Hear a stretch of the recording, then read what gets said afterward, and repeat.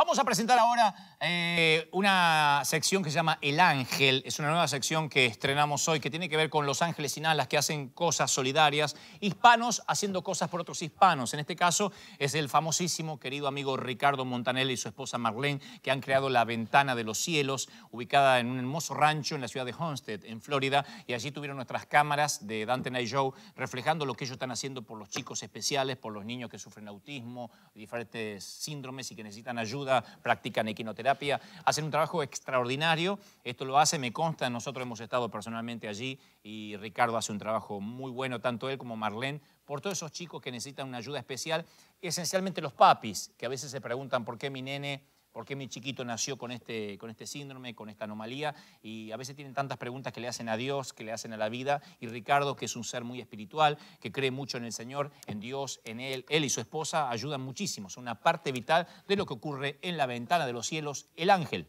estuvo ahí.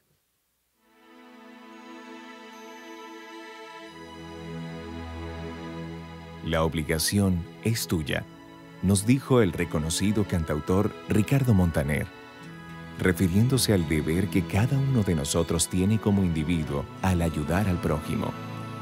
Ricardo y su esposa Marlene han creado La Ventana de los Cielos, ubicada en un hermoso rancho de la ciudad de Homestead, Florida. La idea es un poco menos énfasis en la terapia y más en lo lúdico para que vayan relajándose, actividades en el agua, actividades con caballos, con animales. En la fundación no solamente vemos a los niños, sino que vemos a sus papás y a los niños les, a, los niños les damos terapia, pero a los papás le hablamos de Cristo y, les justificamos este, que Dios los atrapó o los está atrapando a través de su Hijo, ¿no?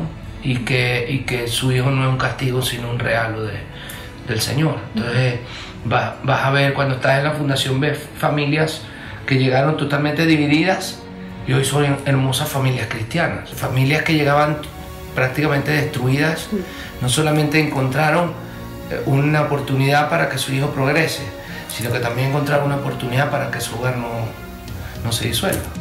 La ventana de los cielos es, es, eh, es ese algo maravilloso que podemos dar y podemos hacer como resultado de nuestro propio amor entre nosotros.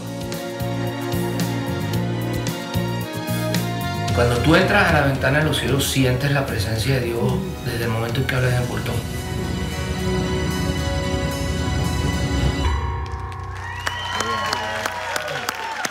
Buen trabajo, ¿eh?